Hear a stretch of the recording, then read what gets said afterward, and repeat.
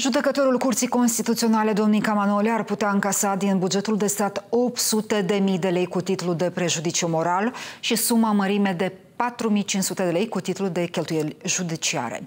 Decizia a fost pronunțată de Curtea de Apel Chișinău. Magistrații au respins cererea de apel depusă de Ministerul Justiției, care s-a opus prejudiciului, dar și cererea declarată de Procuratura Anticorupție, menținând în vigoare decizia primei instanțe emisă în 8 februarie. Decizia Curții de Apel a fost pronunțată în data de 13 iunie curent și a fost făcută publică miercuri 12 iulie.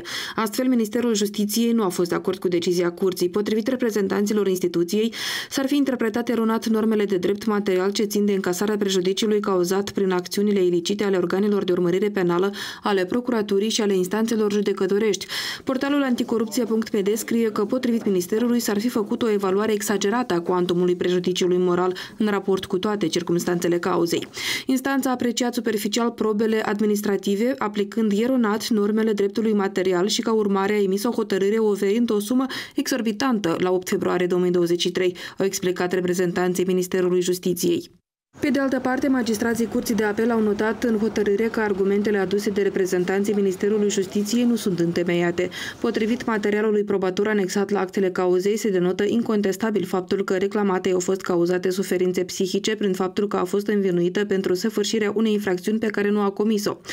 Reieșind din suferințele atât fizice cât și psihice suportate de statutul și poziția socială a acesteia, colegiul consideră că prejudiciul moral în sumă de 800.000 de lei încasat de prima instanță este o sumă întemeiată și reală suferințelor cauzate, care constituie de altfel o satisfacție echitabilă, se arată în hotărârea Curții de Apel.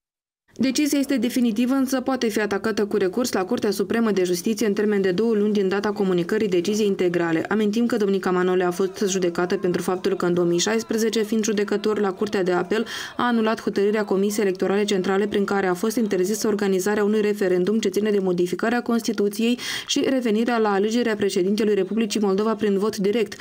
Ca urmare, Manole a fost demisă din postul de judecător pe numele său, fiind pornit un dosar penal. În februarie curent, avocata domnică Manole Angela Popil declara că odată cu pornirea procesului penal, domnica Manole a fost supusă unei persecuții fără precedent pentru decizii adoptate în calitatea sa de judecător în cadrul Curții de Apel Chișinău, fapte care motivează solicitarea unui prejudiciu moral în valoare de 800.000 de lei. În 2019, domnica Manole a fost achitată după ce procurorii au renunțat la acuzații. Dosarul privind excluderea ei din sistem a ajuns la Curtea Europeană pentru Drepturile Omului. Domnica Manole a cerut ca statul să achite un prejudiciu moral estimat la suma de un milion de lei și compensarea cheltuielilor de judecată în mărime de 5.000 de lei.